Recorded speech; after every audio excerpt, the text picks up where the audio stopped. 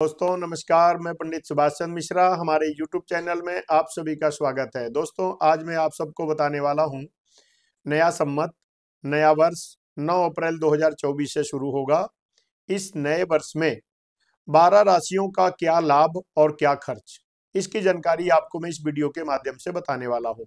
तो चलिए, सबसे पहले मेष राशि। मेष राशि के लिए दो का लाभ होगा और चौदह का खर्च होगा। दोस्तों, वृष राशि के लिए ग्यारह का लाभ होगा और पाँच का खर्च होगा। दोस्तों, मिथुन राशि के लिए दो का लाभ होगा और पाँच का खर्च होगा। दोस्तों, कर्क राशि के लिए ग्यारह का लाभ होगा और चौदह का खर्च होगा। दोस्तों, सिंह राशि के लिए चौदह का लाभ होगा और ग्यारह का खर्च होगा।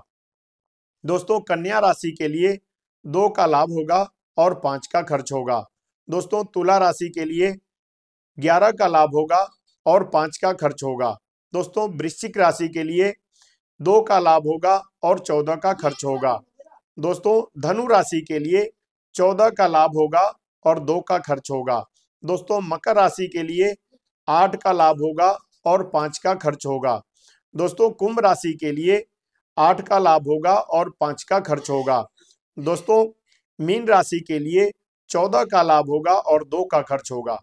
दोस्तों, बारह राशियों का लाभ और खर्च मैंने आपको इस वीडियो के माध्यम से बताया है।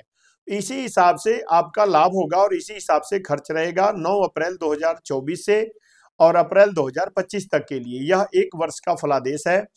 इसके अनुसार अब जिसका ज़्यादा खर्च है, वो हमारे अगले वीडियो से इसका उपाय जानकारी प्राप्त करके उसका उपाय करेंगे और पूरा वर्ष को शुभ बनाने के लिए मैं अगले वीडियो में आपको उपाय बताऊँगा। तो दोस्तों, आज के लिए इतना ही। अगर आपको हमारा यह वीडियो अच्छा लगे तो दोस्तों बड़ी मेहनत से मैं इस वीडियो को तैयार करता हूँ। आप लोगों से निवेदन है कि चैनल को सब्सक्राइब और वीडियो को लाइक और शेयर ज़रूर करें। और दोस्तों कोई भी सुझाव, कोई भी सलाह आपने देना है तो कमेंट में आप दे सकते हैं। आज के लिए जय श्री राम।